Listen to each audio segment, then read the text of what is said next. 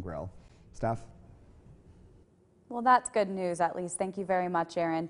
We have a quick traffic update for you. Beginning tomorrow, a portion of Route 2 and Weirton on Main Street will be restricted to one lane.